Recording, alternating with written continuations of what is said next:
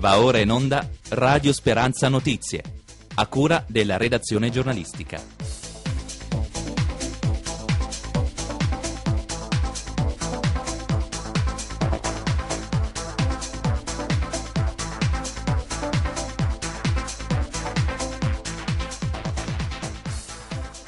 Un cordiale saluto a tutti da Massimiliano Spiriticchio al microfono, Natascia alla parte tecnica e da tutti noi di Radio Speranza in Blu, la radio della Chiesa Metropolitana di Pescara Penni.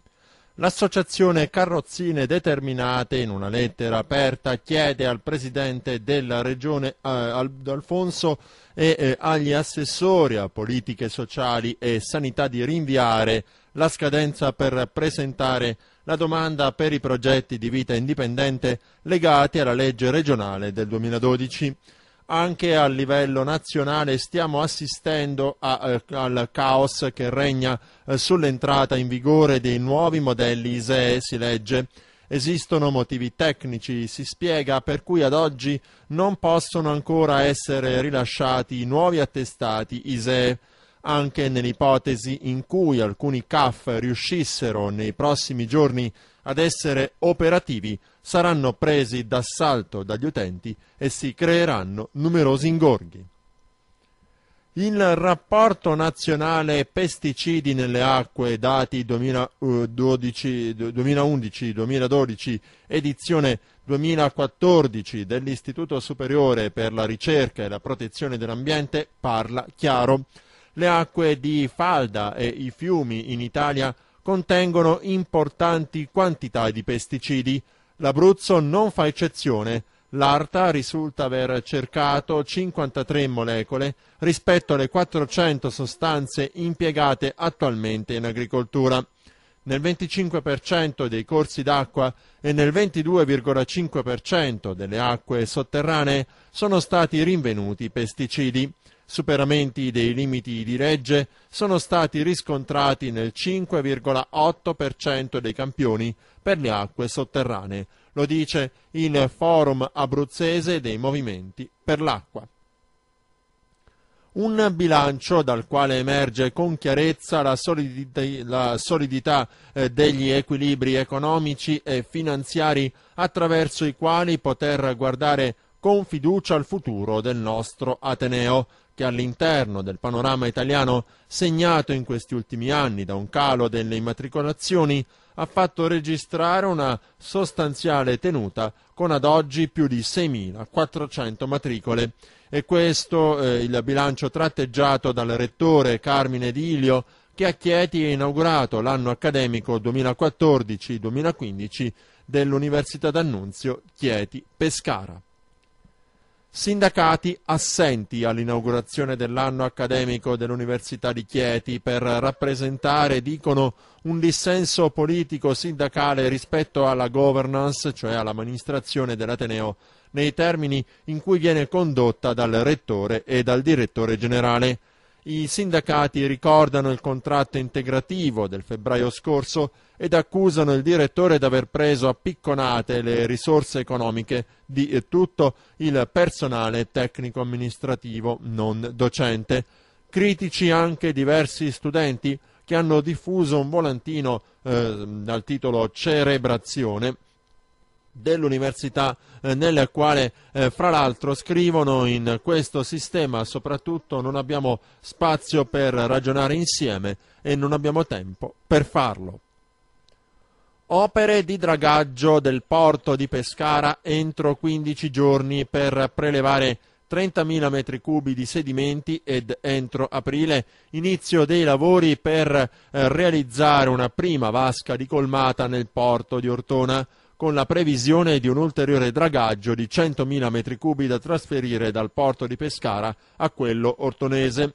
Quindi entro fine marzo è previsto l'avvio della progettazione dei lavori di una banchina all'altezza dell'allagamento della Madonnina, porto di Pescara, eh, con eh, funzione di colmata e entro giugno sarà disponibile la progettazione dell'opera definitiva. Montesilvano Democratica ha chiesto un impegno politico concreto all'amministrazione Maragno, abbassare gli stipendi di sindaco, assessori e consiglieri per alimentare un fondo di solidarietà sociale.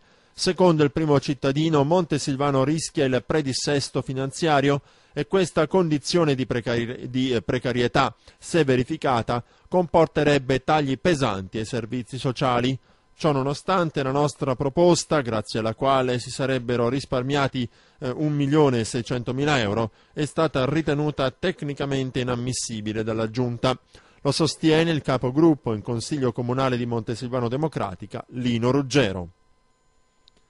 Si terrà oggi alle 18 nella Sala dei Marmi della provincia di Pescara il convegno Non più schiavi ma fratelli in preparazione alla marcia per la pace di sabato. Interverranno Don Maurizio Patriciello, parroco al quartiere Parco Verde in Caivano, raccontando il Vangelo della Terra dei Fuochi, Raffaele Bonanni, già segretario generale della CISL, Massimo Pallottino dell'area internazionale di Caritas italiana, John Palizza, l'uomo del Congo che, che, cammina per la pace, il quale interverrà sul tema Uno sguardo sul mondo, schiavi della guerra, Suor eh, Maria eh, eh, del Rosario Bolanos Medina, Suora Oblata del Santissimo Redentore e Sua Eccellenza Monsignor Tommaso Valentinetti, Arcivescovo di Pescarapenni. Padre, che tutti siano una cosa sola, con questo spirito continua la preghiera per l'unità dei cristiani. Domani alle 19 l'arciprete rumeno Alin Iarca, guida spirituale dei rumeni residenti in diocesi, guiderà il Vespro ortodosso nella chiesa di Gesù Maestro a Pescara, in piazza Luigi Rizzo. Decima edizione per la Marcia per la Pace a Pescara. Non più schiavi ma fratelli, il tema offerto da Papa Francesco nella giornata eh, per la pace 2015 che darà il là all'appuntamento locale previsto proprio sabato alle 19.30 il luogo dell'incontro, la centralissima piazza Salotto di Pescara, perché la manifestazione possa davvero essere un grido all'unisono contro ogni forma di schiavitù e, promo- e a promozione del confronto fraterno, scrive in una nota l'Arcidiocesi di Pescara Penne. La marcia sarà trasmessa in diretta da Radio Speranza. Sarà il presidente della Regione Abruzzo D'Alfonso ad aprire domani alle 9 a Pescara nel Palazzo della Provincia la serie di incontri con i cittadini programmati per attivare un centro d'ascolto dei problemi e dei bisogni provenienti dal territorio. Gli altri incontri si terranno in contemporanea nelle sedi provinciali dell'Aquila, Teramo e Chieti e vedranno la partecipazione di assessori e direttori regionali, consiglieri regionali di maggioranza, manager pubblici.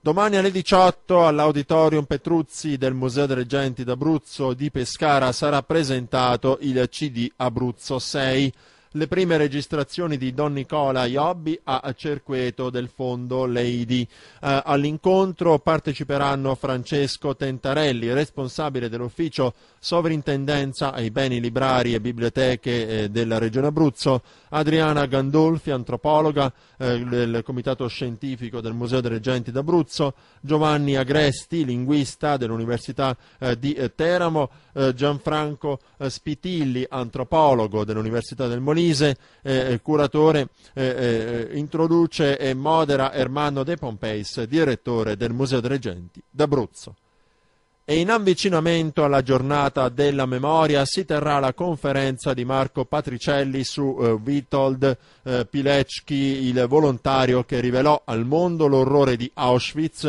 al palazzo della provincia di Pescara nella sala La figlia di Iorio, appuntamento previsto per sabato alle 17.30 ed era eh, l'ultima notizia. Adesso però vediamo insieme le previsioni del tempo. Stasera su Pescara e provincia si prevedono cielo coperto nelle prime ore della serata e pioggia nel resto della serata con temperature da 8 a 9 gradi e venti deboli.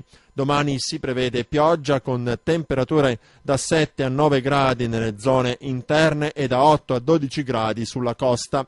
I venti domani sono previsti moderati, il mare è previsto da poco mosso a mosso stasera e da mosso a molto mosso domani. Ed è davvero tutto per questa edizione del nostro notiziario. Da Massimiliano Spiriticchio al microfono, Natascia alla parte tecnica e da tutti noi di Radio Speranza in Blu, la radio della Chiesa Metropolitana di Pescarapenne, grazie per averci seguito e a risentirci.